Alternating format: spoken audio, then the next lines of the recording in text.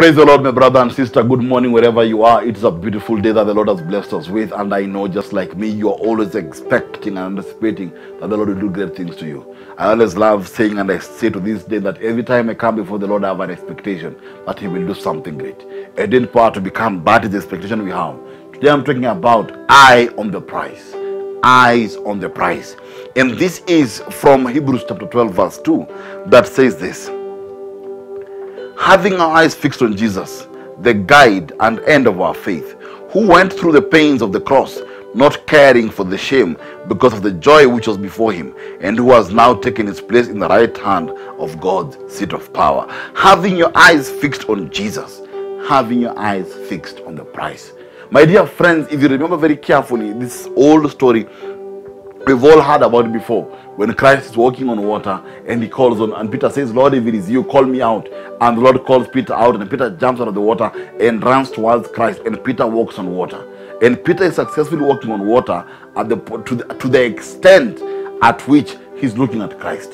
The moment he takes his eyes off the prize, the, the price was what? The price wasn't walking on water. The price was, I want to come to you. He said, Master, if it is you, then call me to you. And that was the price. The price was him coming to where Christ is. Many times normally judge Peter for walking on water and drowning. But the but the key thing here was not the walking on water that um, walking on water that he may drown or not drown. The key thing was his eyes were on Christ. He wanted to come where Jesus is. Now, my dear friends, the beautiful thing of having your eyes on the prize is even when your humanity comes, when your humanity jumps in, Jesus, in his goodness, will always reach out to you and cover the remaining distance. Because when Peter is coming towards that place of intimacy, running towards Christ, keeping his eyes on the prize, my prize is a relationship with you. My prize is I want to be there with you. Peter did not say that the miracle I want is I also want to walk on water just like you. No, Peter said, I want to come where you are. I want to be where you are. And if this water is an obstacle, you will deal with whatever obstacles that need for us to come there. Now, on a different day, I'd preach a very long sermon based on that. But today, I want to focus on one thing that keep your eye on the prize. The prize is Christ. Keep focused on Jesus. If you focus on Jesus and your humanity comes up, your humanity manifests where you have doubt, where you have fear, where you have worry, where you have anxiety, because He was the one you wanted initially. Jesus will always meet you before you drown. He will always come to you before you drown.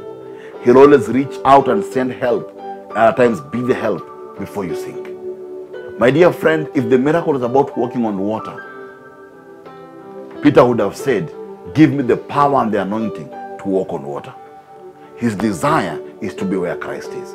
If you desire to be where Christ is, this day, if your whole desire is to be where Jesus is, is to be at his feet, when your humanity arises, Jesus will protect your humanity.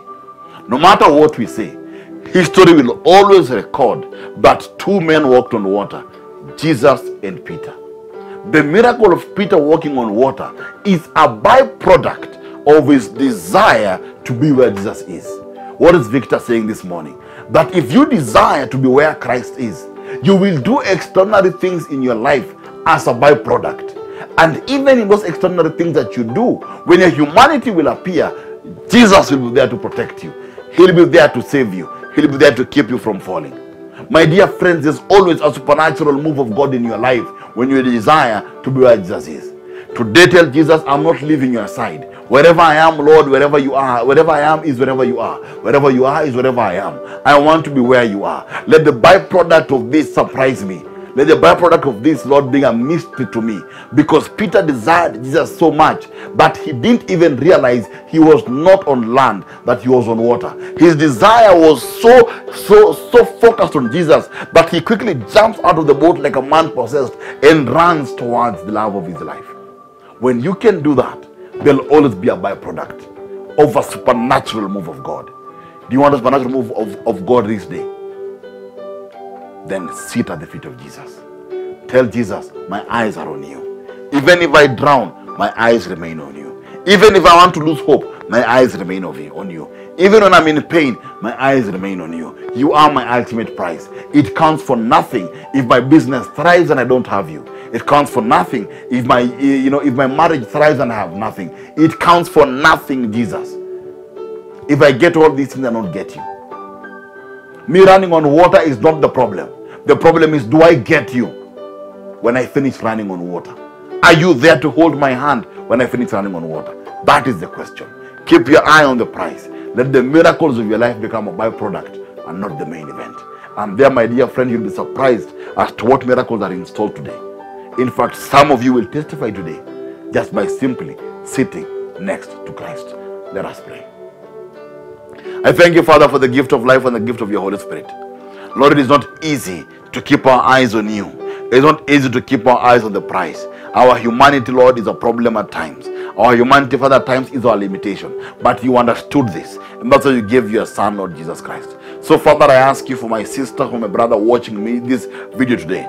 But Father, you may meet them at that place, Lord, of their humanity. But Lord, as they pursue you, as they pursue your, as they pursue your heart, may miracles follow them, Lord. May there be byproducts of powerful miracles happening in their lives from this moment. Because, Father, in the name of Jesus, they chose, Almighty Father, to move close to you, to desire you. And when you desire you, Lord, nothing is impossible. In Jesus' name we pray. Amen. Nothing is impossible, my dear friends, if we just put our eyes on Jesus. There'll always be a supernatural move of God. Have a blessed day. See you next time.